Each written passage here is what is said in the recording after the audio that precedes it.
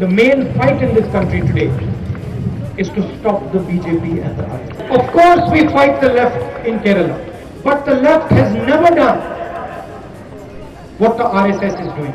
The left has never questioned the institutions of this country. The left has never questioned the constitution of this country. And the left has never attempted to destroy the institutions of this country. നമസ്കാരം prime ഡിബേറ്റിലേക്ക് സ്വാഗതം C P എമ്മിനെ വിമർശിക്കില്ലെന്ന് വയനാട്ടിൽ പറഞ്ഞത് വെറുതെയല്ലെന്ന് തെളിയിക്കുകയാണ് രാഹുൽ ഗാന്ധി. വയനാടൻ ചുരമിറങ്ങി രാജ്യമെമ്പാടും പ്രചാരണത്തിന് പോയി വീണ്ടും കേരളത്തിലെത്തിയിട്ടും പറഞ്ഞതൊന്നും രാഹുൽ മറന്നില്ല. വാക്കുകൊണ്ടോ വാചകം കൊണ്ടോ എന്നല്ല ഒരക്ഷരം കൊണ്ടുപോലും സി പി എമ്മിനെതിരെ ഒന്നും പറഞ്ഞില്ല രാഹുൽ. സി പി എമ്മിനെതിരെ പട നയിക്കുന്ന കേരളത്തിലെ കോൺഗ്രസ് നേതാക്കൾക്ക് ഇതൊന്നും ഒട്ടും ദഹിക്കുന്നതല്ലെങ്കിലും രാഹുലിന് കുലുക്കമില്ല. പത്തനാപുരത്ത് രാഹുൽ പറഞ്ഞത് അതേപടി ജ്യോതി വിജയകുമാർ പരിഭാഷപ്പെടുത്തി. ആലപ്പുഴയിൽ എം ലിജുവിനും നാക്കുപിഴച്ചില്ല. എന്നാൽ പത്തനംതിട്ടയിൽ പി ജെ കുര്യൻ പരിഭാഷയിൽ കാര്യമായ മാറ്റം വരുത്തി. ഇതിൽ നിന്നു തന്നെ വ്യക്തമാണ് രാഹുലിന്റെ രാഷ്ട്രീയത്തെ ഓരോ നേതാവും എങ്ങനെ കാണുന്നു എന്നത്. ഇടത് വലത് രാഷ്ട്രീയ മത്സരം പതിറ്റാണ്ടുകളായി നടക്കുന്ന കേരളത്തിൽ സി പി എമ്മിനെതിരെ ഒന്നും മിണ്ടാതെ കടന്നുപോകുന്ന കോൺഗ്രസ് അധ്യക്ഷൻ ലക്ഷ്യം വെക്കുന്നത് എന്താണ്? ഇടതുപക്ഷത്തെ പുകഴ്ത്തുന്ന രാഹുൽ ശൈലി യു നല്ലതോ? സംഘപരിവാർ വിരുദ്ധതയെന്ന ഒറ്റ അച്ചുതണ്ടിൽ രാഹുൽ നിലയുറപ്പിക്കുമ്പോൾ അത് കേരളത്തിൽ ഗുണം ചെയ്യുക ഏതും മുന്നണിക്കാണ്. രാഹുലിന്റെ ശൈലി കോൺഗ്രസിൽ വലിയ ചോദ്യങ്ങൾക്കാണ് വഴി തുറക്കുന്നത്. പ്രൈം ഡിബേറ്റ് ചർച്ച ചെയ്യുന്നത് ഈ സാഹചര്യമാണ്. എഫ് ബി പോളിലൂടെ പ്രേക്ഷകർക്ക് മുമ്പാകെ വെക്കുന്ന ചോദ്യവും ഇടതിനെ പുകഴ്ത്തുന്ന ശൈലി രാഹുലിന്റെ ശൈലി യു ഡി എഫിന് കേരളത്തിൽ നല്ലതോ എന്നതാണ്.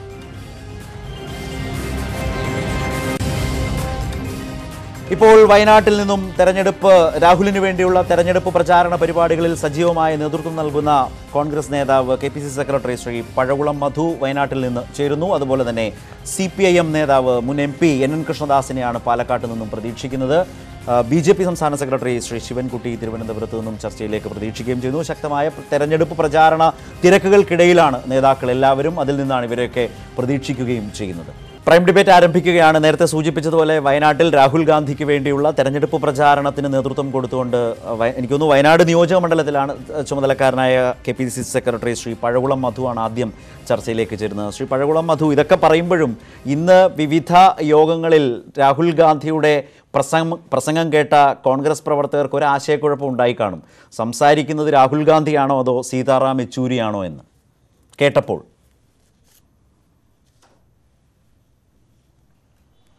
ഇല്ല. അതിന്റെ ആവശ്യം ആർക്കുമില്ല കോൺഗ്രസ്സുകാർക്ക് ആർക്കും ഉണ്ടായിട്ടില്ല. ഏതെങ്കിലും താങ്കൾക്കോ അല്ലെങ്കിൽ മറ്റേതെങ്കിലും സി പി എം നേതാക്കന്മാർക്കോ ഉണ്ടായിട്ടുണ്ടെങ്കിൽ പ്രവർത്തകർക്ക് ഉണ്ടായിട്ടുണ്ടെങ്കിൽ അത് അത്ഭുതപ്പെടാനുമില്ല. കാരണം സി പി എം അടക്കം എല്ലാ പുരോഗമന ചിന്താഗതിക്കാരായിട്ടുള്ള ആൾക്കാർ രാജ്യത്തെ ജനങ്ങളോട് തെരഞ്ഞെടുപ്പ് വേദിയിൽ എന്താണോ പറയേണ്ടത് ആ കാര്യം രാഹുൽ ഗാന്ധിയുടെ പ്രസംഗത്തിൽ ഉണ്ടായിരുന്നു എന്നതാണ് സത്യം.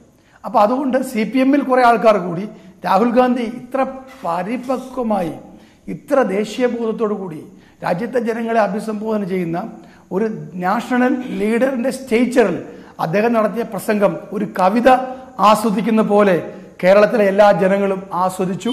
കോൺഗ്രസ്സുകാരിൽ അത് വർദ്ധിച്ച ആവേശമുണ്ടാക്കി. ഇടതുപക്ഷ ചിന്താഗതിക്കാരായിട്ടുള്ള ആൾക്കാർക്ക് രാഹുൽ അതെ അത് തന്നെയാണ്. പഴവളം മധു ഞാൻ പറഞ്ഞത് ആ കവിത ഇടതുപക്ഷക്കാരും ആസ്വദിച്ചു എന്നേ ഞാൻ പറഞ്ഞുള്ളൂ. അത് താങ്കൾ സമ്മതിച്ചല്ലോ. എന്റെ എന്റെ കാര്യം ഞാൻ പറഞ്ഞു എന്ന് ഇത്രയേ ഉള്ളൂ. ശ്രീ പഴകുളം മധു. അദ്ദേഹത്തിന്റെ പ്രസംഗം കവിത പോലെ ആസ്വാദ്യകരമായിരുന്നുവെങ്കിൽ ആ മാതൃക പിന്തുടരാൻ കേരളത്തിലെ നേതാക്കൾ താങ്കൾ അടക്കമുള്ളവർ തയ്യാറാകണം മാതൃക കാട്ടണം. രാഹുൽ ഗാന്ധിയെ മാതൃകയാക്കുകയാണ് വേണ്ടത്.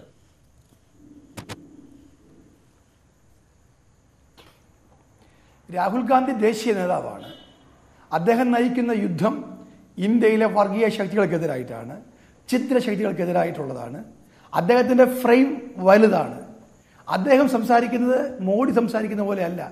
ഏറ്റവും ചെറിയ കാര്യങ്ങൾ എടുത്ത് പ്രസംഗത്തിൽ ഉപയോഗിക്കുക ചെറിയ ആൾക്കാരെ പോലും വിമർശിക്കുക തുടങ്ങി രാജ്യത്തിന്റെ ചരിത്രത്തിൽ ഒരു പ്രധാനമന്ത്രിയും ഉപയോഗിക്കാത്ത പദപ്രയോഗങ്ങൾ വാക്കുകൾ എന്താണ് രാഷ്ട്രീയ കാര്യങ്ങൾ ഉപയോഗിച്ച് പ്രസംഗിക്കുന്ന മോദി ശൈലി അല്ല രാഹുൽ ഗാന്ധിക്കുള്ളത്. ശരി. അദ്ദേഹം രാജ്യത്തെ പ്രധാനമന്ത്രി സ്ഥാനാർത്ഥിയാണ്. ജനങ്ങളോട് ഏത് വിഷയങ്ങൾ സംസാരിക്കണം മനസ്സിലായി. ഓരോ വിഷയത്തെയും എങ്ങനെ കൈകാര്യം ശരി, അതുകൊണ്ട് തന്നെ ഒരു സ്റ്റേറ്റ് നമുക്ക് ലൈനിലാണ് നമുക്ക് വളച്ചുകെട്ടില്ലാതെ. അതിന്റെ അർത്ഥം. കേരളത്തിൽ വളച്ചുകെട്ടില്ലാതെ അദ്ദേഹം സംസാരിച്ച ഓരോ കാര്യത്തിലേക്ക് നേരിട്ടായി വരാം അതിനു മുമ്പ് മുൻ M P C P M നേതാവ് Shri N N Krishnadas telephone ലൈനിൽ ചേരുന്നുണ്ട് ശ്രീ കൃഷ്ണദാസ് ഇപ്പോൾ കോൺഗ്രസ് നേതാക്കൾ ഇപ്പോൾ ഒരു പ്രത്യേക സിദ്ധാന്തം രൂപീകരിച്ചിട്ടുണ്ട്. ദേശീയ നേതാവായതുകൊണ്ട് ദേശീയ അധ്യക്ഷനായതുകൊണ്ട് അദ്ദേഹം ആ നിലവാരത്തിൽ നിന്ന് സംസാരിക്കും. കേരളത്തിലെ നേതാക്കൾ മറ്റൊരർത്ഥ മറ്റൊരു രീതിയിൽ നിന്നുകൊണ്ട് സംസാരിക്കും. അവർക്ക് മാത്രമായിരിക്കും സി പി എമ്മിനെതിരെ സംസാരിക്കാനുള്ള ഉത്തരവാദിത്വം. രാഹുൽ ഗാന്ധി മറ്റൊരു തലത്തിൽ നിൽക്കേണ്ടയാളാണ്. ഇതാണ് സൃഷ്ടിച്ചെടുത്തിരിക്കുന്ന ഒരു സിദ്ധാന്തം.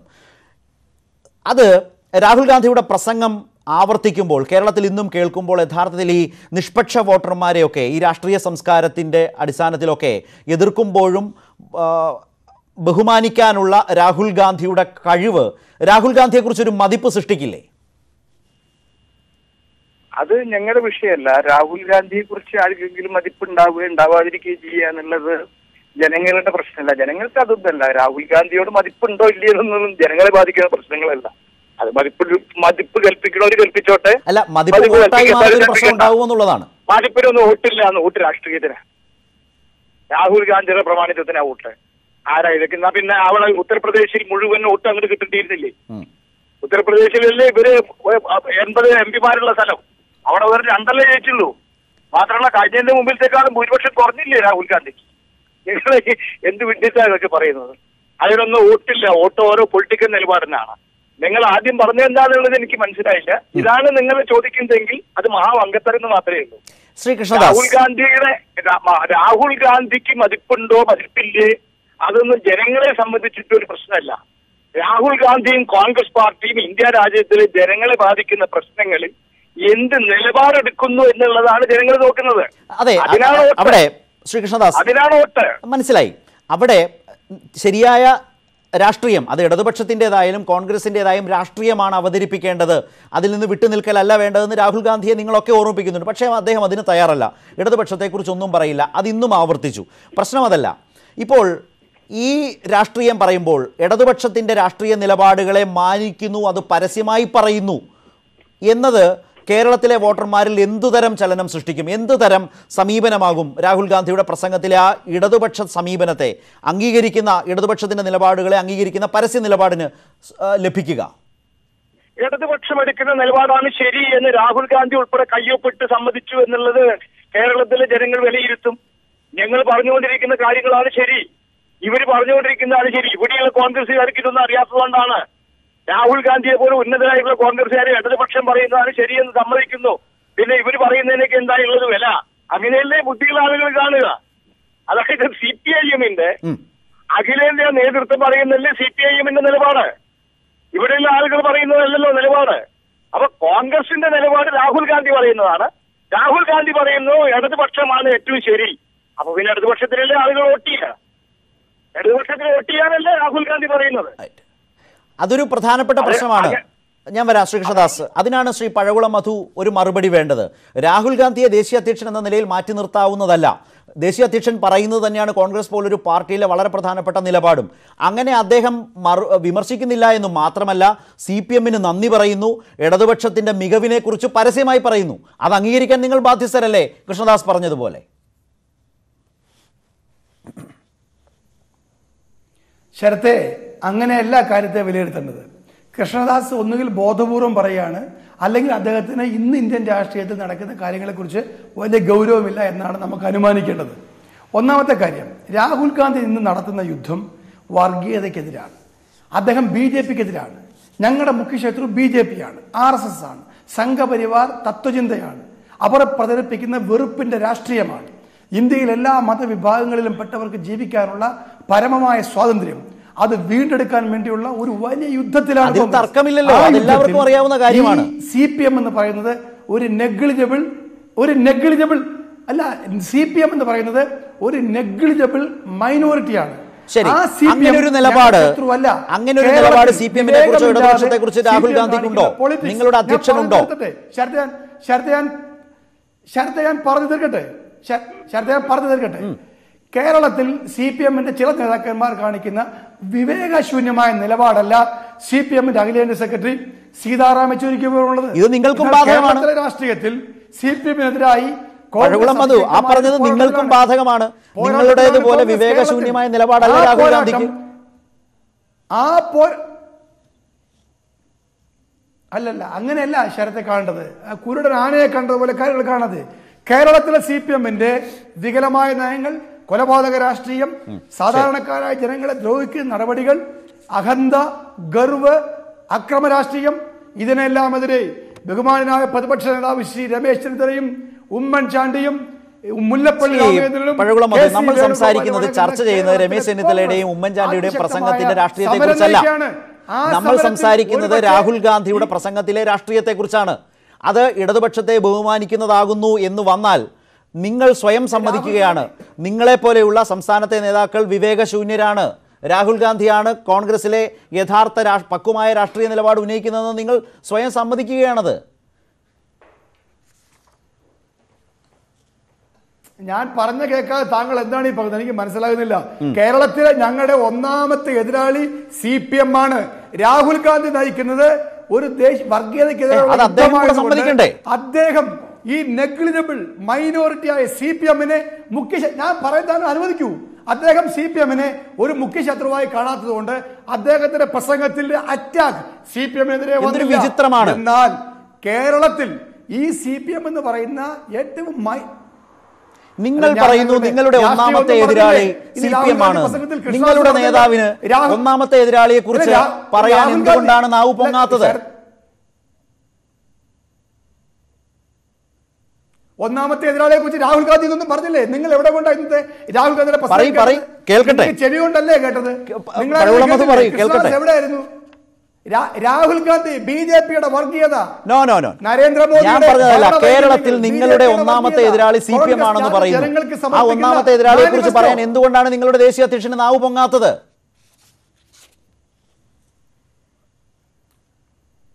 സി പി എം ഞങ്ങൾക്കൊരു ശത്രുവേ അല്ല. നിങ്ങൾ എഴുതി കാണിക്കൂ. സി പി എം ഞങ്ങൾക്ക് ശത്രു കേരളത്തിൽ കേരളത്തിലെ ഇതിൽ പരം ഒരു തമാശയുണ്ട്. നിങ്ങൾ തന്നെ തൊട്ടു മുമ്പിലത്തെ വാചകത്തിൽ പറഞ്ഞു ഞങ്ങളുടെ ഒന്നാമത്തെ എതിരാളി സി പി എം ഇപ്പോൾ പറയുന്നു എതിരാളിയല്ല എന്ന്. ഈ ആശയക്കുഴപ്പമാണ് രാഹുൽ ഗാന്ധി വന്നതോടെ കേരളത്തിലെ കോൺഗ്രസിന് ഞാൻ അത്രേ പറയാൻ ശ്രമിച്ചുള്ളൂ. ഇല്ല ഒരാശ ശരത്തെ ഞാൻ അല്ല അല്ല താങ്കൾ താങ്കൾക്ക് ഞാൻ ഞാൻ പറയുന്നത് കേൾക്കാൻ താല്പര്യമുണ്ടോ? ഉണ്ട്. താങ്കൾ പറയുന്നത് കേൾക്കാൻ താല്പര്യം രാഹുൽ ഗാന്ധി പ്രസംഗിച്ചത് നാഷണൽ പോളിറ്റിക്സ് ആണ്. നാഷണൽ പൊളിറ്റിക്സ് ആണ്. ആ പൊളിറ്റിക്സിൽ സി പി എമ്മിന് ഒരു റോളും ഇല്ല അവരെ അറ്റാക്ക് ചെയ്തിട്ട് ഒരു കാര്യമില്ല. കേരളത്തിൽ ഞങ്ങളുടെ നേതാവ് രമേശ് ചെന്നിത്തലയും കെ സി വേണുഗോപാലും ഉമ്മൻചാണ്ടിയും മുല്ലപ്പള്ളിയും നയിക്കുന്നുണ്ടൊരു യുദ്ധം. ആ യുദ്ധം ഈ പിണറായി വിജയന്റെ ദുർഭരണത്തിനെതിരായിട്ടാണ്. എനിക്ക് നന്നായി ചിരി വരുന്നുണ്ട്. ഞാൻ താങ്കളിലേക്ക് മടങ്ങി വരാം.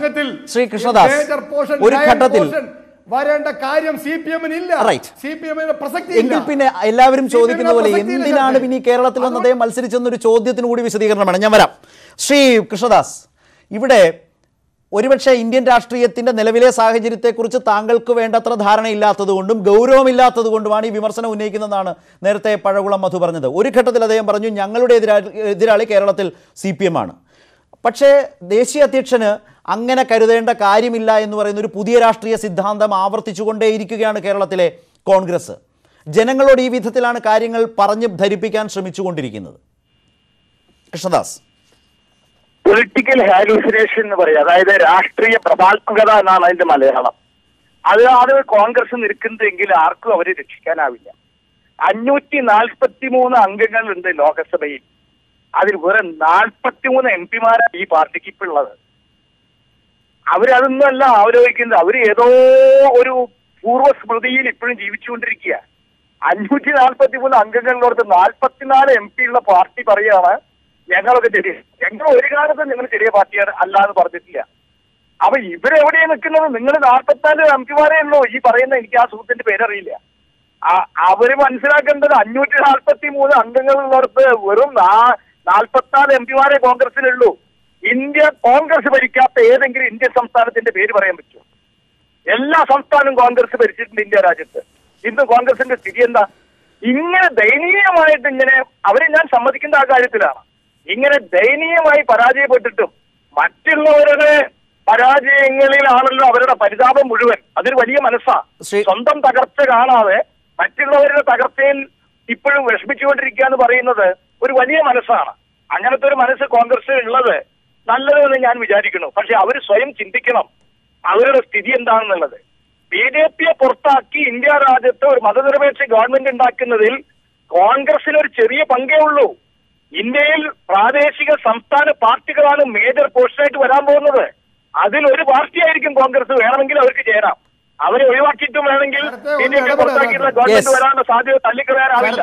ഇതാണ് ഇന്ത്യയുടെ യാഥാർത്ഥ്യം. ശ്രീ പഴകുളം മധു വേറൊരു പ്രശ്നമാണ് അദ്ദേഹം സൂചിപ്പിച്ചെങ്കിൽ ദേശീയ രാഷ്ട്രീയവുമായി ബന്ധപ്പെട്ട് നിങ്ങൾ കാണുന്ന വലിപ്പം ഇടപെട്ട പോലെ നിങ്ങൾക്ക് ഇതൊന്നും ഇന്നില്ല അതാണ് അദ്ദേഹം പറഞ്ഞത്. അത് രാഹുൽ ഗാന്ധി മനസ്സിലാക്കുന്നത് കൊണ്ടാണ് ഇടതുപക്ഷത്തെ വിമർശിക്കാതെ കരുതലോടെ സംസാരിക്കുന്നത്. ഇതാണ് കൃഷ്ണദാസ് പറഞ്ഞ രാഷ്ട്രീയം. അല്ല കൃഷ്ണദാസ് പറഞ്ഞ കാര്യം ഞാൻ പറയാം. ഞങ്ങൾ പഴയ പോലെ ഇന്ത്യയിലെ എല്ലാ സ്റ്റേറ്റും ഭരിച്ച പോലെ ശക്തി ഞങ്ങൾക്കില്ല.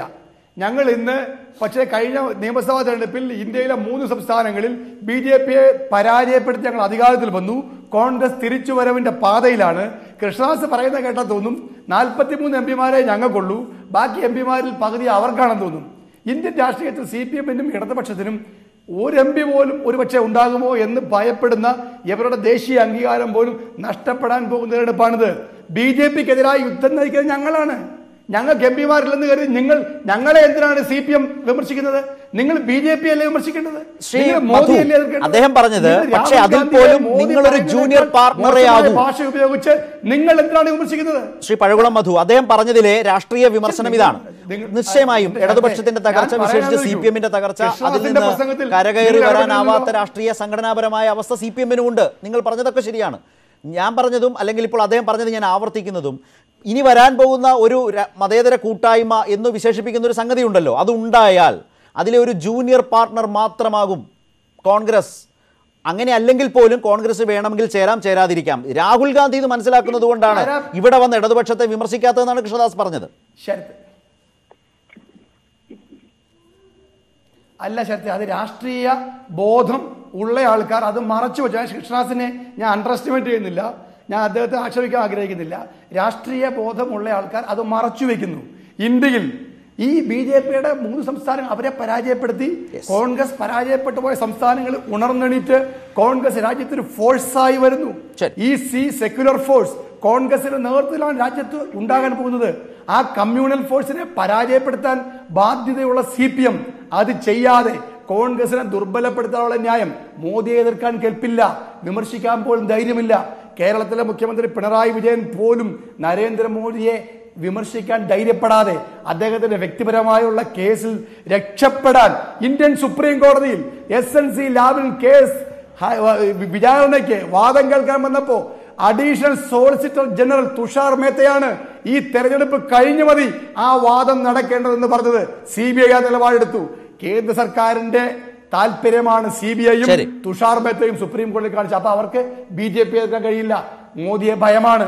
മോദിയെ ഭയമില്ലാതെ മുഖത്ത് നോക്കി നരേന്ദ്രമോദി അല്ല ചോറാണ് എന്ന് പറയുന്ന രാജീവ് രാഹുൽ ഗാന്ധിയുടെ വിപുലമായ രാഷ്ട്രീയത്തെ കാണാൻ കഴിയാത്ത കൂപമണ്ഡൂകങ്ങളായി കേരളത്തിലെ കമ്മ്യൂണിസ്റ്റ് പാർട്ടികൾ മാറിയിരിക്കുന്നു. രാഹുൽ വയനാട്ടിലെ പ്രസ്താവന നിങ്ങൾ വായിച്ചു സെക്രട്ടറിയുടെ വിമർശനം പോകുന്നത്. അവിടെ ഒരു പ്രധാനപ്പെട്ട കാര്യം. ഇന്ന് അദ്ദേഹം മാത്രമല്ല. എ കെ ആന്റണി വളരെ പ്രധാനപ്പെട്ട മറ്റൊരു നേതാവായ എ കെ ആന്റണി പറഞ്ഞത് രാഹുൽ ചുറ്റിക അരിവാൾ നക്ഷത്രത്തിനും നെൽക്കതിർ അരിവാളിനും വോട്ട് ചെയ്യുന്നവർ ഒറ്റ പ്രാവശ്യം കൈപ്പത്തി ചിഹ്നത്തിൽ വോട്ട് ചെയ്യണം. കേരളത്തിലെത്തി എന്ന് പറഞ്ഞതാണ്. മോദിയെ എതിർക്കുന്ന നട്ടലുള്ള ഒരേ ഒരു നേതാവ് രാഹുൽ ഗാന്ധിയാണ് എന്നാണ് എ കെ ആന്റണി പറഞ്ഞത്. അതുതന്നെയാണ് കേരളത്തിലെ കോൺഗ്രസ് നേതാക്കൾ ഏറ്റെടുക്കുന്നത്.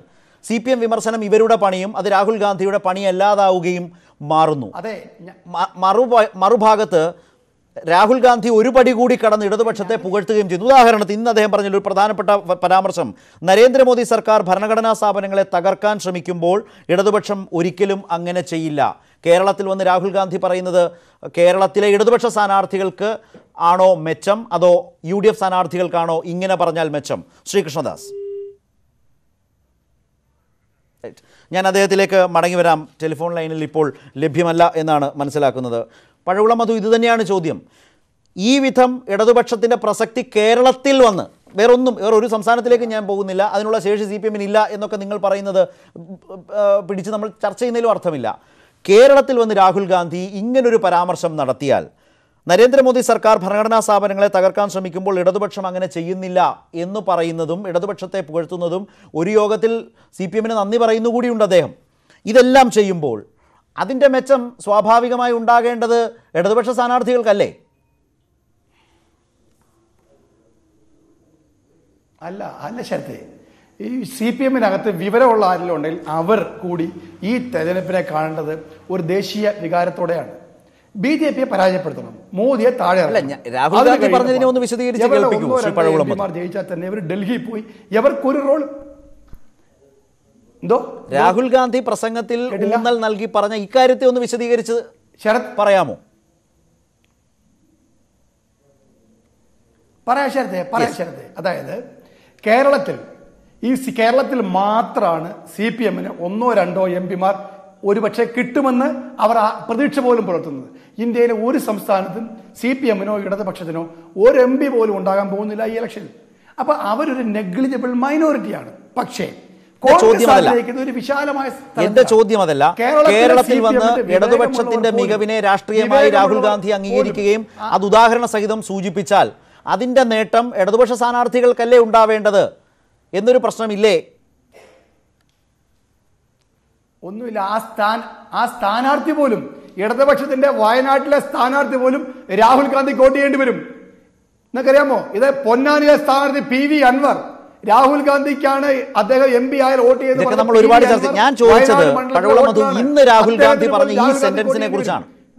പഴകുളം മധു ഇന്ന് അദ്ദേഹം പറഞ്ഞത് ഇടതുപക്ഷം ഭരണഘടനാ സ്ഥാപനങ്ങളെ തകർക്കില്ല അവർ അങ്ങനെ ചെയ്യില്ല എന്ന് രാഹുൽ ഗാന്ധി ഒരു ക്ലീൻ ചിറ്റ് കൊടുത്താൽ ഒരു ഗുഡ് സർട്ടിഫിക്കറ്റ് കൊടുത്താൽ അതിന്റെ മേന്മ കേരളത്തിൽ ആർക്കാണ് ഉണ്ടാവുക?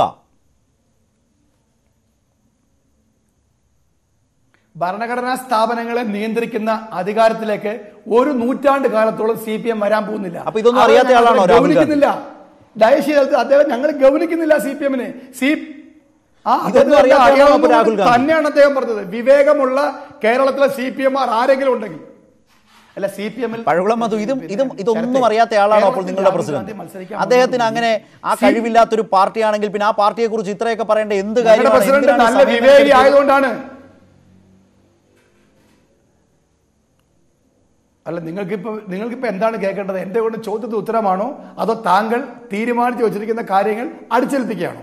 താങ്കൾ ഒരു അജണ്ട വെച്ചിട്ടുണ്ടെങ്കിൽ താങ്കൾ ഒരു ലക്ഷ്യമുണ്ടെങ്കിൽ ആ ലക്ഷ്യത്തിലേക്ക് ഈ ചർച്ചയെ കൊണ്ടുപോകാന്ന് കരുതണ്ട. ഈ-.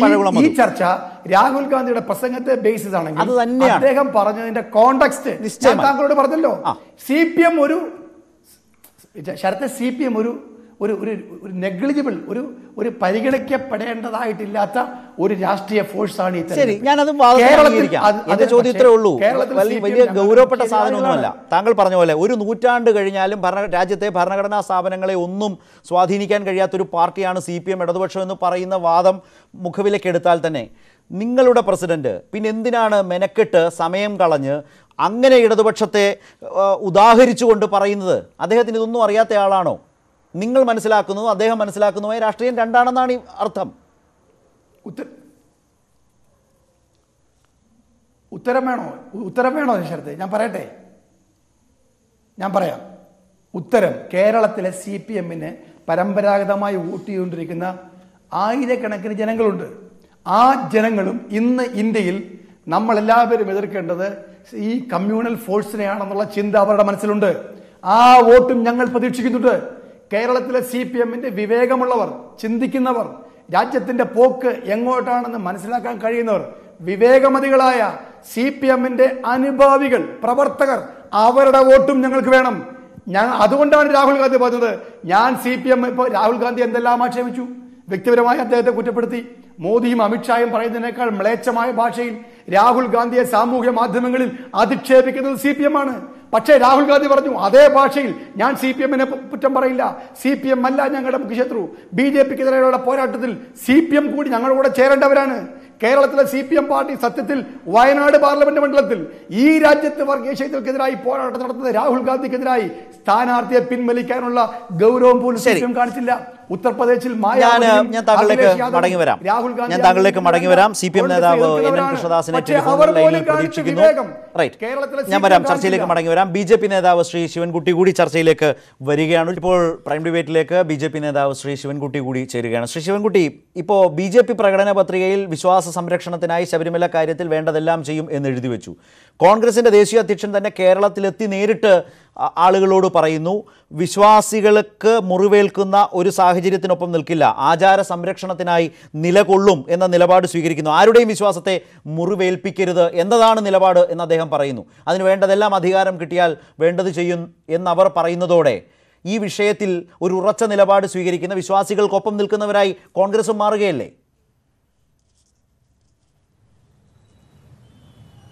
അല്ല വിശ്വാസികൾക്ക് ഒപ്പം നിൽക്കും എന്ന് വളരെ വ്യക്തമായി തെളിയിച്ച രാഷ്ട്രീയ പ്രസ്ഥാനമാണ് ഭാരതീയ ജനതാ പാർട്ടി. അത് ഞങ്ങൾ വ്യക്തമായി തെളിയിച്ചു. ഞങ്ങൾ ശബരിമല വിഷയം വന്നപ്പോൾ ഞങ്ങൾ ഏറ്റെടുത്തിട്ടുള്ള സമരങ്ങൾ ഞങ്ങൾ ഏറ്റെടുത്തിട്ടുള്ള ഇഷ്യൂസുകൾ അതെല്ലാം തന്നെ ഞങ്ങളുടെ നേതൃത്വം ഭംഗിയായി ഭക്തജനങ്ങൾക്ക് വേണ്ടി കൈകാര്യം ചെയ്തു. എങ്കിൽ എന്തുകൊണ്ട് ഭരണം ഭക്തജനങ്ങളുടെ ഉണ്ടായിരുന്നതുകൊണ്ട് ഒക്കെ ചോദിക്കും പോലെ ഓർഡിനൻസ് കൊണ്ടുവന്നില്ല? വേണ്ടി അല്ല ഓർഡിനൻസ് കൊണ്ടുവരുന്നത് സാധാരണ നിലയ്ക്ക് സംസ്ഥാന ഗവൺമെന്റ് അത് സംസ്ഥാന നിയമസഭയും സംസ്ഥാന ഗവൺമെന്റും സർക്കാരിനോട് ആവശ്യപ്പെടണമല്ലോ ഓർഡിനൻസ് കൊണ്ടുവരണമെന്ന്. വേണ്ടല്ലോ. അതിനപ്പുറം വിഷയത്തിൽ അതിനപ്പുറം രാഷ്ട്രീയമായി നിയമസഭയുടെ ഇപ്പോൾ പ്രകടന പത്രികയിൽ എഴുതി ചേർത്ത ഒരു പാർട്ടിക്ക് സംസ്ഥാന സർക്കാരിന്റെ വിരുദ്ധ നിലപാടുണ്ടെന്നിരിക്കെ അതിന് കാത്തു നിൽക്കാതെ വിശ്വാസികൾക്കൊപ്പമാണ് എന്ന് തെളിയിക്കാൻ ഈ മാസങ്ങൾക്ക് മുമ്പ് തന്നെ ആകാമായിരുന്നു. അത് ചെയ്തില്ല. എൻ എസ് എസ് അടക്കം അത് ചൂണ്ടിക്കാട്ടിയല്ലോ. അല്ല വിശ്വാസികൾക്ക് വേണ്ടിയിട്ടാണല്ലോ നമ്മൾ വിശ്വാസികൾക്ക് വേണ്ടിയിട്ടാണല്ലോ ജന ബി ജെ പിയും സംഘപരിവാർ പ്രസ്ഥാനവും അത് ഏറ്റെടുത്തുകൊണ്ട് മുന്നോട്ട് പോയത്. അക്കാര്യത്തിൽ ഇടതുപക്ഷ സർക്കാർ മുട്ടുകുത്തുകയല്ലേ ചെയ്തത്? അതല്ലല്ലോ സർക്കാർ അത് വേറെ വിഷയം. ശ്രീ ശിവൻകുട്ടി ഇപ്പോ കേന്ദ്രം ഭരിക്കാൻ പോകുന്ന രണ്ട് ദേശീയ കക്ഷികൾ. ഒന്ന് ബി ജെ പി അല്ലെങ്കിൽ കോൺഗ്രസ് ആ നിലയിലേക്ക് വരാൻ ശ്രമിക്കുന്ന ഒരു സാഹചര്യം. അതിന്റെ തർക്കത്തിനല്ല ഞാൻ അങ്ങനെ പറഞ്ഞത്. ഇവിടെ നിങ്ങളും പറയുന്നു വിശ്വാസികളെ സംരക്ഷിക്കും. ഇനി അധികാരത്തിലേക്ക് വരുമ്പോൾ ഞങ്ങൾ സംരക്ഷിക്കുമെന്ന് കോൺഗ്രസും പറയുന്നു. അധികാരമുണ്ടായിരുന്ന കാലത്ത് അതിനുവേണ്ടി ഭരണപരമായ ഒരു നടപടിയും സ്വീകരിക്കാതെ സെക്രട്ടേറിയറ്റ് സമരവും മറ്റും മാത്രം നടത്തി അതിനകത്ത് അധികാരമുണ്ടായിട്ടും ഒരു നടപടിയും സ്വീകരിക്കാത്തവരാണ് നിങ്ങൾ. പക്ഷേ അധികാരത്തിലെത്തിയാൽ വേണ്ടത് ചെയ്യുമെന്ന് ഉറപ്പ് പറഞ്ഞാൽ അതിനായിരിക്കില്ലേ ആളുകൾ കുറെ കൂടി വില കൽപ്പിക്കുക? രാഹുൽ ഗാന്ധിയുടെ ആ ഉറപ്പിന് കേരളത്തിൽ. അല്ലല്ല അല്ലല്ല രാഹുൽ ഗാന്ധിയുടെ ഉറപ്പിന് ഒരു വിലയുമില്ല. കാരണം രാഹുൽ ഗാന്ധിയുടെ പാർട്ടി എടുത്ത നിലപാട് കേരളത്തിൽ അത് ശുദ്ധമായി ജനങ്ങളെ പറ്റിക്കുകയാണ് ചെയ്തത്. അതുകൊണ്ട് കേരളത്തിലെ ജനങ്ങൾക്കറിയാം. അല്ല. അവർ ആ ആ പാർട്ടിക്കാരനായ പ്രയാർ ഗോപാലകൃഷ്ണൻ വേണ്ടി നിങ്ങൾ എന്ത് ചെയ്തു? കോൺഗ്രസ് നിങ്ങൾ എന്ത് ചെയ്തു? ചൗക്കിദാർ പ്രേരണകുമാരി ആരാണ്. പന്ത്രണ്ട് വർഷം ഈ. കേസ് നടന്നപ്പോൾ നിങ്ങൾ ഈ ചോദ്യങ്ങളാണ്. വിശ്വാസികൾ പരസ്പരം ചോദിക്കുക അല്ല ഞാൻ അല്ല ഞാൻ ചോദിച്ചോട്ടെ ഈ അല്ല ഞങ്ങൾക്ക് ഒരു ഞങ്ങൾ ഞങ്ങൾക്ക് ഞങ്ങളുടെ നിലപാട് വളരെ വ്യക്തമാണ് ശബരിമലയിലെ വിശ്വാസത്തിന് വേണ്ടി. ശബരിമലയുടെ വിശ്വാസം സംരക്ഷിക്കുന്നതിന് വേണ്ടി ശബരിമലയെ ശ- ശ- അല്ല ഞങ്ങൾ ചെയ്തു. ഞങ്ങൾ ചെയ്തതുപോലെ കേരളത്തിൽ ഒരു രാഷ്ട്രീയ പാർട്ടിയും ചെയ്തിട്ടില്ല.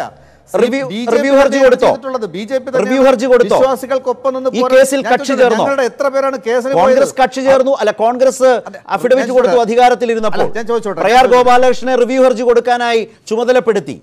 ഇതൊക്കെ അവർ ചെയ്തു എന്നാണ് അവർ പറയുന്നത്. അതിന്റെ തുടർച്ചയിലാണ് അവരുടെ പ്രസിഡന്റ് വന്ന് ഈ ഉറപ്പ് കൊടുക്കുന്നത്. എൻ എസ് എസും പറഞ്ഞു. കോൺഗ്രസ്- എൻ എസ് എസും കുറെ കൂടി അനുകൂലമായ നിലപാട് സ്വീകരിച്ചത് കോൺഗ്രസിന്റെ നിലപാടിനോടല്ലേ? അല്ല കേരളത്തിൽ അല്ല കേരളത്തിൽ ഞങ്ങൾ അധികാരത്തിലല്ലല്ലോ. കേരളത്തിൽ വിശ്വാസികൾ വിശ്വാസികൾക്ക് കേന്ദ്ര വിഷയമാണ് എന്നുള്ളതാണ് ഞങ്ങളുടെ ദൗത്യം. ശബരിമല കേരളത്തിൽ കേരളത്തിലാണെങ്കിലും കേരളത്തിൽ. അധിഷ്ഠിതമായ കേരളത്തിൽ അധികാരത്തിലുള്ളത് rightsമായി LDF, ബന്ധപ്പെട്ട ആണ്. ഒരു വിഷയമാണിത്. LDF ആണ് ഇപ്പോൾ കേരളം ഭരിക്കുന്നത്. യു ഡി എഫ് കഴിഞ്ഞ കാലം ഭരിച്ചു. അല്ല ഭരണഘടനയുമായി ബന്ധപ്പെട്ട വിഷയത്തിൽ സുപ്രീം കോടതിയിൽ നിലനിൽക്കുന്ന ഒരു കേസാണ്. സുപ്രീം കോടതിയിൽ എന്താ സുപ്രീം കോടതി എന്താ പറഞ്ഞ? ഓപ്പൺ കോടതിയിൽ വാദം കേട്ട കേസാണിത്. അതുകൊണ്ട് ഇനിയും സുപ്രീം കോടതിയിൽ ഞങ്ങൾക്കൊരു പ്രതീക്ഷയുണ്ട്. അപ്പോൾ അതുകൊണ്ട് ഞങ്ങൾക്ക് ഞങ്ങളുടെ പ്രതീക്ഷ പൂർണമായിട്ട് അറ്റിട്ടില്ല ഞങ്ങൾ ഭക്തജനങ്ങൾക്കൊപ്പം വിശ്വാസികൾക്കൊപ്പം വിശ്വാസം സംരക്ഷിക്കാൻ ഞങ്ങൾ. പരസ്യമായി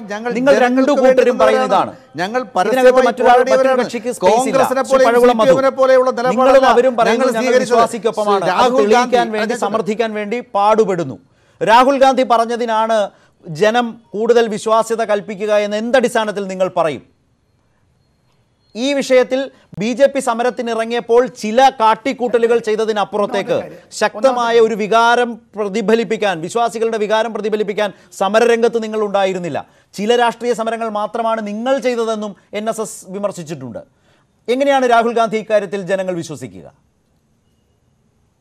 ശരത്തെ ശരത്ത് ശരത്തെ താങ്കൾ പറഞ്ഞ പോലെ തന്നെ ഇക്കാര്യത്തിൽ യു ഡി എഫ് സർക്കാരിന്റെ കാലത്ത് ഈ കേസ് സുപ്രീം കോടതിയിൽ വന്നപ്പോൾ ഞങ്ങൾ നൽകിയ അഫിഡവിറ്റാണ് ഞങ്ങളുടെ ഒരു മാഗ്നാകാർട്ട ഞങ്ങളുടെ ഒരു നയം ഒരു പോളിസി അതാണ്. അത് വായിച്ചാൽ അത് ചർച്ച ചെയ്യപ്പെട്ട കാര്യമാണ് വിശദാംശങ്ങളിൽ പോകുന്നില്ല.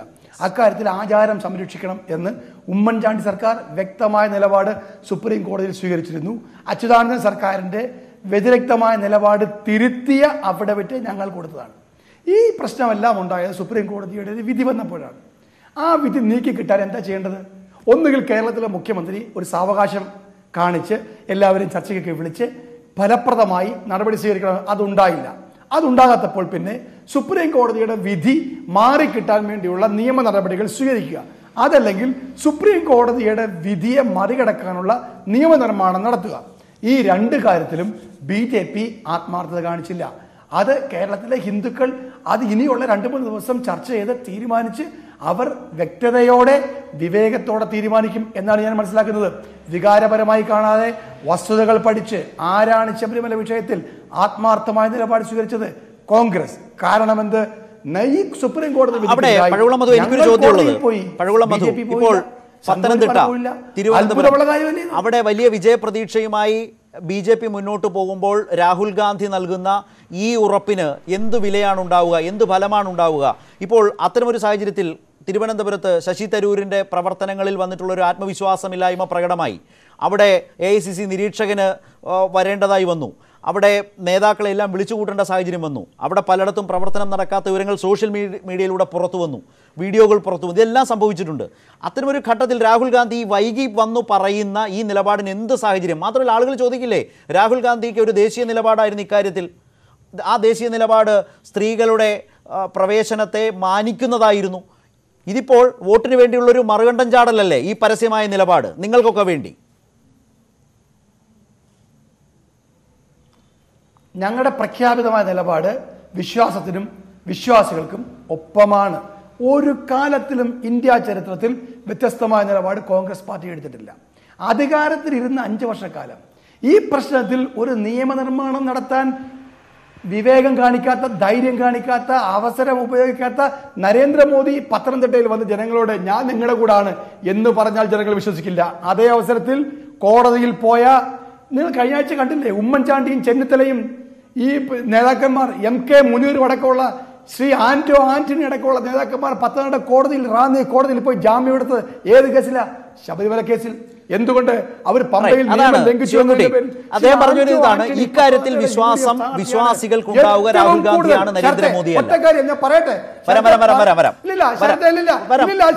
മധുവിന് അവസരം തരാം. ശിവൻകുട്ടി, ശിവൻകുട്ടി, ശിവൻകുട്ടി. യെസ് വരാം വരാം വരാം വരാം. ശിവൻകുട്ടി വിശ്വാസം മോദിയല്ല. ഇതിനകത്ത് ഇതിനകത്ത് ഇതാണ് പറയുന്നത് പഴകുളം മധു പച്ചക്കള്ളം പറയുകയാണ് അല്ല പഴകുളം മധു അല്ല അല്ല അല്ല എന്നെ പറയാൻ അവസരം തരാം, അവസരം പഴകുളം തരാം. മധു പഴകുളം മധു. പഴകുളം അത് ഇക്കാര്യത്തിൽ സത്യം തുറന്നു പറയണം. നിങ്ങൾ? ആന്റോ ആന്റണി ഉമ്മൻചാണ്ടി അത് ധാരണ ഉണ്ടാക്കിയതല്ലേ? നിങ്ങൾ നിങ്ങളും ഉമ്മൻചാണ്ടി അല്ല ഞാൻ ചോദിച്ചോട്ടെ? ഈ പഴകുളം. പ- പഴകുളം മിനിറ്റ് ഉമ്മൻചാണ്ടിയും ഉമ്മൻചാണ്ടിയും നിങ്ങളുടെ കോൺഗ്രസ് നേതാക്കന്മാരും ഈ സർക്കാരുമായി ധാരണ. ഉണ്ടാക്കിയിട്ടല്ലേ? നിങ്ങൾ അറസ്റ്റ്. വരിച്ചത് കെ സുരേന്ദ്രൻ എത്ര കാലം ജയിലിൽ കിടന്നു? ശരി. മനസ്സിലായി. ശിവകുട്ടി ഞാൻ വരാം. ശിവകുട്ടി വരാം. ശിവകുട്ടി വരാം. പഴകുളം മധു. നിങ്ങൾ നിങ്ങളുടെ ആ കേസിലെ ജാമ്യമെടുപ്പിനെയാണ് ഇപ്പോൾ അദ്ദേഹം വിമർശിച്ചത്. നിങ്ങൾക്ക് ആത്മാർത്ഥതയുണ്ടോ? യെസ് അല്ല നിങ്ങൾ പഴകുളം മധു കംപ്ലീറ്റ് ചെയ്യൂ. കംപ്ലീറ്റ് പറയൂ. പറയൂ, ഞാൻ ഞാൻ ശബരിമല പ്രശ്നത്തിൽ ശബരിമല പ്രശ്നത്തിൽ ഏറ്റവും ആത്മാർത്ഥമായ നിലപാട്? സ്വീകരിച്ചത് കോൺഗ്രസ് ആണ് പത്തനംതിട്ടയിലാണ് ശബരിമല. പത്തനംതിട്ട എം പി ആന്റോ ആന്റണി കാണിച്ച പമ്പയിലും. ശബരിമലയിലും ഇന്ത്യൻ പാർലമെന്റിലും ആന്റോ ആന്റണി കാണിച്ച. ആത്മാർത്ഥതയുടെ നൂറിലൊന്ന് ആത്മാർത്ഥത ഈ ബി ജെ പി നരേന്ദ്രമോദിയോ കാണിച്ചിരുന്നെങ്കിൽ. ഇന്ന്. കോൺഗ്രസ് കാണിച്ച ആത്മാർത്ഥത ആരും എവിടെയോ മറിഞ്ഞ് ബൈക്ക് മറിഞ്ഞ് മരിച്ച ആളെ ബലിദാനിയാക്കി. തിരുവനന്തപുരം സെക്രട്ടേറിയറ്റിന് മുമ്പിൽ ആത്മാഹുതി ചെയ്ത ആളെ ബലിദാനിയാക്കി ഇവർ രാഷ്ട്രീയം കളിക്കുകയാണ്. ഇത് വന്നിട്ട് നയമാണ് കള്ളം പറയുന്നു. സുവർണാവസരം നിങ്ങൾ ഉപയോഗപ്പെടുത്താനുള്ള ഉമ്മൻചാണ്ടി അടവ് ഈ പത്രത്തിന്റെയും കേരളത്തിലെയും ഹിന്ദു സമൂഹം. ഹിന്ദു സമൂഹം വിവേകമുള്ളവരാണ് ഈ ആവശ്യമില്ലാതെ ബി ജെ പിയുടെ കള്ളക്കളിക്ക് രാഷ്ട്രീയ കളിക്ക് കേരളത്തിലെ ഏതായാലും വിശ്വാസികളുടെ പേരിലാണ് ഈ തമ്മിൽ തല്ല് എന്നതാണ് ഒരു വലിയ പ്രശ്നം. അവർ ചിന്തിക്കും. വിശ്വാസികളുടെ പേരിൽ ഞങ്ങളാണ്. യഥാർത്ഥ നിലപാട് നിങ്ങൾക്ക് സ്വീകരിക്കുന്നത് എന്ന് സമർത്ഥിക്കാനുള്ള ഒരു വലിയ ശ്രമത്തിലാണ് കോൺഗ്രസും അതേപോലെ ബി ജെ പിയും ഇവിടെ ഇനി അതിന്റെ ഗൗരവപ്പെട്ട ഒരു വിഷയത്തിലേക്ക് വരാം. ശ്രീ ശിവൻകുട്ടി. ശിവൻകുട്ടി എന്റെ ചോദ്യത്തിലേക്ക് പോട്ടെ ഇതൊന്ന് കേൾക്കൂ. അതായത് കാര്യം ഇത്രയേ ഉള്ളൂ. വിശ്വാസികൾക്ക് ഇപ്പോൾ ശബരിമലയിലെ ആ വിധി നടപ്പായാൽ അതിലൂടെ പ്രതിഷേധിക്കുന്ന വിശ്വാസികളുടെ സമൂഹത്തിന്റെ പ്രതിനിധിയാകാൻ കഴിയുന്നത് അവർ വിശ്വസിക്കുന്നത് രാഹുൽ ഗാന്ധിയുടെ വാക്കുകളാണ് നരേന്ദ്രമോദിയുടേതല്ല. അതിനാണ് ഒരു മറുപടി ബി ജെ പിയുടേതായ മറുപടി വേണ്ടത്. അതിലാണ് യു ഡി എഫിന്റെ വലിയ വിജയപ്രതീക്ഷകളിലെ ഒരു ഘടകവും അതാണ് വിശ്വസിക്കില്ല. ബി ജെ പി പറയൂ പറയൂ.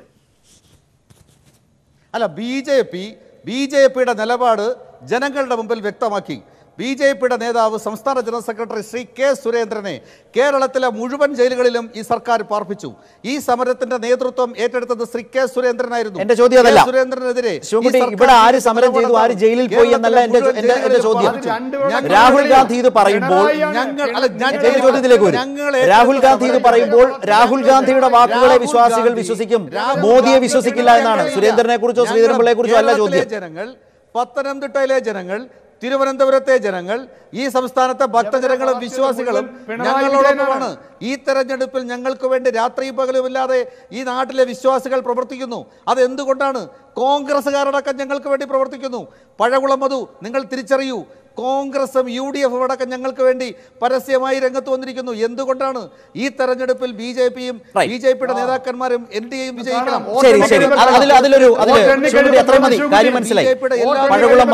ഇതിൽ അദ്ദേഹം പറഞ്ഞതിലാണ് കാരണം ഇങ്ങനെ ഇങ്ങനെ നിങ്ങളുടെ കാൽക്കീഴിലെ കാൽ കീഴിലെ മണ്ണ് ചോർന്നൊലിക്കുന്നു എന്ന തിരിച്ചറിവ് കൊണ്ടാണ് രാഹുൽ ഗാന്ധിയെ കൊണ്ട് ഇങ്ങനെ നിങ്ങൾ പറയിച്ചത് കോൺഗ്രസ്സുകാരായ വിശ്വാസികൾ പോലും കോൺഗ്രസ് വിട്ട് ബി ജെ പിയിലേക്ക് പോകുന്നു അവർക്കൊപ്പം ചേരുന്നു എന്നാണ് ശിവൻകുട്ടി സൂചിപ്പിച്ചത്.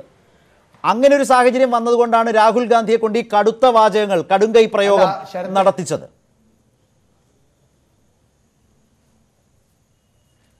ശരത്തെ ഈ പാവം ശിവൻകുട്ടി അദ്ദേഹത്തിന്റെ പാർട്ടിക്ക് വേണ്ടി വാദിക്കുന്നു. നമുക്ക് ശിവൻകുട്ടിയെ വെറുതെ വിടാം. അദ്ദേഹത്തെ ശിക്ഷിക്കണ്ട. അദ്ദേഹം അത് പറഞ്ഞോട്ടെ.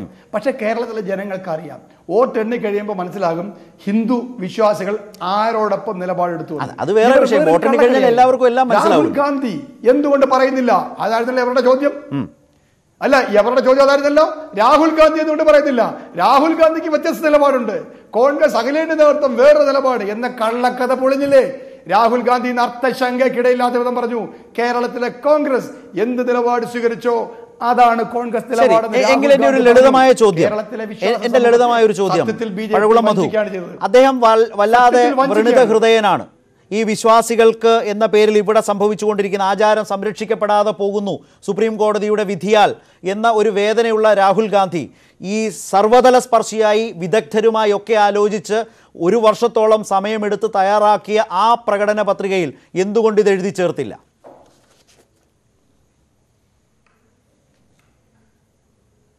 ഇല്ല ഞങ്ങൾ പറയുന്നുണ്ടല്ലോ. ഞങ്ങളുടെ അഖിലേന്ത്യാ കോൺഗ്രസ്. കമ്മിറ്റിയുടെ general secretary K C Venugopal. ഈ ഇന്ത്യയിലെ കോൺഗ്രസ് പാർട്ടിയുടെ സംഘടനാ സംവിധാനത്തിലെ നമ്പർ ടു പറഞ്ഞില്ലേ? എന്താ പറഞ്ഞത്? കോൺഗ്രസ് അധികാരത്തിൽ വന്നാൽ നിയമനിർമ്മാണം നടത്തും. ചേർക്കാതിരുന്നത്? നാവിൽ കോൺഗ്രസിന്റെ അഭിപ്രായം? രാഹുൽ ഗാന്ധി എന്ത് പറയാ പ്രസംഗിക്കണം എന്ന് നിങ്ങൾ രാഹുൽ ഗാന്ധി എന്ത് പ്രസംഗിക്കണം എന്നോ ആ പിന്നെ മാനിഫെസ്റ്റോയിൽ എന്ത് ഇത് പറഞ്ഞ് ആ വാക്ക് ചേർന്നില്ല. അതുകൊണ്ട് കോൺഗ്രസിന്റെ വിശ്വസിക്കേണ്ട എന്ന് പറഞ്ഞത് അർത്ഥശൂന്യതമായ ഒരു വാദമാണ്. അല്ല, ഞങ്ങൾ വ്യക്തമാണ്. രാഹുൽ ഗാന്ധി മറുപടി. കറുത്ത ബാഡ്ജ് പറയട്ടെ? എന്തുകൊണ്ട് കോൺഗ്രസ് ശിവൻകുട്ടി പഠന പത്രികയിൽ ചേർത്തില്ല? ശിവൻകുട്ടി ഒരു മിനിറ്റ് നിൽക്കൂ. ശിവൻകുട്ടി ശരത്തെ രണ്ടുപേരും പറയുന്നത് ഞാൻ കേൾക്കുന്നു എന്തിനാണ് കേൾക്കുന്നത്? ഞാൻ എല്ലാവർക്കും അറിയാം പച്ചവെള്ളം പോലെ. നിങ്ങളുടെ കള്ളക്കളിയാണ്. നിങ്ങളുടെ ഈ ശ്രീധരൻ പിള്ള ശ്രീധരൻ ഒരു തമാശക്കാരനായി കേരളത്തിൽ. സുവർണാവസരമായി ഉപയോഗപ്പെടും ശ്രീധരൻ പിള്ള ഒരു തമാശക്കാരനായി മാറി. പഴകുളം മധു, ചോദ്യത്തിന് മറുപടി പറയാൻ അല്ലാണ്ട് എന്തിനാ. നിങ്ങൾ നിങ്ങൾ ഇടപെട്ടില്ല. റൈറ്റ് ഏതായാലും ആ തർക്കം അവിടെ നിൽക്കട്ടെ. അത് വോട്ടർമാരുടെ. ചോദ്യത്തിന് നിങ്ങൾ- നിങ്ങളുടേതായ മറുപടികൾ നൽകുക. ശ്രീമതി അവസാനമായ ഒരു കാര്യം. ഈ ശ്രീ പഴകുളം മധുവിലേക്ക് വരുമ്പോൾ വരുന്നതിന് മുമ്പ്. ഇവിടെ ഇവിടെ പ്ലീസ് ഒറ്റ നിമിഷം ഒറ്റ നിമിഷം. ഒരു മിനിറ്റ് ഒരു മിനിറ്റ് ഒരു മിനിറ്റ്. സുപ്രീം കോടതി പോഞ്ഞ് ഒരു മിനിറ്റ്. അതായത് നിങ്ങൾ എന്താ നിയമം നിർമ്മിക്കാൻ പ്ലീസ്, ശിവൻകുട്ടി, അവസാനമായ ഒരു ചോദ്യം. ഇന്ത്യ മുഴുവൻ നിങ്ങൾ മാത്രമല്ല. കോൺഗ്രസ് എന്താ ചെയ്തത്? പ്രയാർ ഗോപാലകൃഷ്ണൻ വ്യക്തിപരമായി ചെയ്തതാണ്. പ്രയാർ നിന്ന് പ്രത്യയശാസ്ത്രത്തെ തോൽപ്പിക്കാനുള്ള യുദ്ധമാണ് ഈ യുദ്ധം ഇത് ശബരിമല ബഹളം വെച്ച്. തോൽപ്പിക്കാവുന്നതല്ല പ്രശ്നത്തിന്റെ മറുപടി പ്രിയ സുഹൃത്തുക്കൾ മനസ്സിലാക്കുക ശ്രീ ശിവൻകുട്ടി കേരളത്തിലെ ഒരു ചെറിയ ചോദ്യമേ ഉള്ളൂ ഇവിടെ വന്ന ഇടതുപക്ഷത്തെ വാനോളം. പുകഴ്ത്തിയാണ് സി പി എമ്മിന് നന്ദി പറഞ്ഞാണ് രാഹുൽ ഗാന്ധി പ്രസംഗിക്കുന്നത് അങ്ങനെയാണെങ്കിൽ ഇവർക്ക് ഈ വയനാട്ടിൽ നടക്കുന്നത് ഒരു സൗഹൃദ മത്സരമാണ് എന്നുകൂടി പ്രഖ്യാപിച്ചുകൂടെ? നിങ്ങൾക്ക് അങ്ങനെ ചോദിക്കാൻ തോന്നുന്നുണ്ടോ? ഞാൻ ഇവിടെ നടത്തുന്നത് ഒരു സൗഹൃദ മത്സരം മാത്രമാണ്. ഇടതുപക്ഷത്തോട് ആ ശത്രുതാ മനോഭാവമില്ല. എന്നുകൂടി രാഹുൽ ഗാന്ധി പറയണം. എന്നുണ്ടോ ബി ജെ പിയെ സംബന്ധിച്ച്?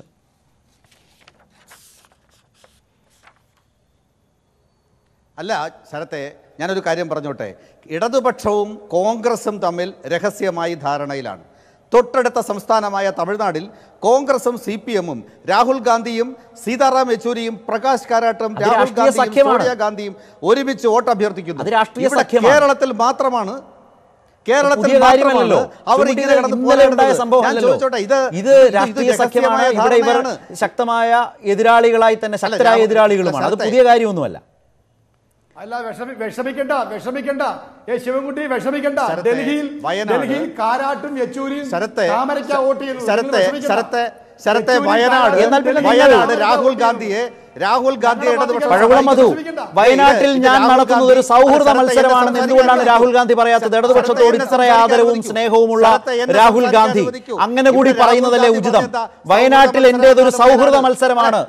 എന്നുകൂടി പറയട്ടെ? പഴകുളം മധുര നാണക്കേടില്ലേ? പഴകുളം അത് താങ്കൾക്ക് നാണക്കേടില്ലേ? താങ്കൾ ഒരു കോൺഗ്രസ് നേതാവല്ലേ? രാഹുൽ ഗാന്ധി എന്താ പറഞ്ഞത്.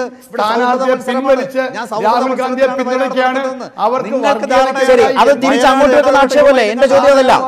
രാഹുൽ ഗാന്ധി വാനോളം പുകഴ്ത്തുന്നു എങ്കിൽ രാഷ്ട്രീയമായി പ്രസക്തമാണ് കേരളത്തിലെ ഇടതുപക്ഷം എന്ന് അദ്ദേഹത്തിന് നല്ല ബോധ്യമുണ്ടെങ്കിൽ വയനാട്ടിൽ ഞാൻ നടത്തുന്നത് ഒരു സൗഹൃദ മത്സരമാണെന്ന് കൂടി അദ്ദേഹം പറയണ്ടേ? പഴകുളം മധു. പറഞ്ഞു. നിങ്ങളത് പറയാൻ ബാധ്യസ്ഥരല്ലേ? ഇടതുപക്ഷവുമായി മത്സരത്തിലില്ല. ഇടതുപക്ഷവുമായി രാഹുൽ ഗാന്ധി മത്സരത്തിലില്ല. പറയൂ. ഞങ്ങൾ നടത്തുന്ന ഒരു സൗഹൃദ മത്സരമാണെന്ന് കൂടി പറയൂ. സൗഹൃദ മത്സരമാണ്. കോൺഗ്രസിനെ സംബന്ധിച്ച് ശിവൻകുട്ടി വേറെ കാര്യം. നിങ്ങളത് അംഗീകരിച്ച് പറയണം. രാഹുൽ ഗാന്ധി ഇനി അതാണ് പറയേണ്ടത്. വയനാട്ടിൽ എന്റെ എന്റെ ഒരു സൗഹൃദ മത്സരമാണ്. അല്ല പഴവുള്ള മധു. രാഹുൽ ഗാന്ധി രാഹുൽ ഗാന്ധി രാഹുൽ ഗാന്ധി- വയനാട് രാഹുൽ ഗാന്ധി മത്സരിക്കുന്നത്. കോൺഗ്രസ് വയനാട് പറയുന്നത് മത്സരിക്കുന്നത് രാഹുൽ ഗാന്ധി സി പി എമ്മുമായി മനസ്സിലായി. അദ്ദേഹം പറയട്ടെ അദ്ദേഹം പറയട്ടെ. പഴവുള്ള മധു താങ്കൾ പറയൂ താങ്കൾ പറയൂ. യെസ് പഴവുള്ള മധു.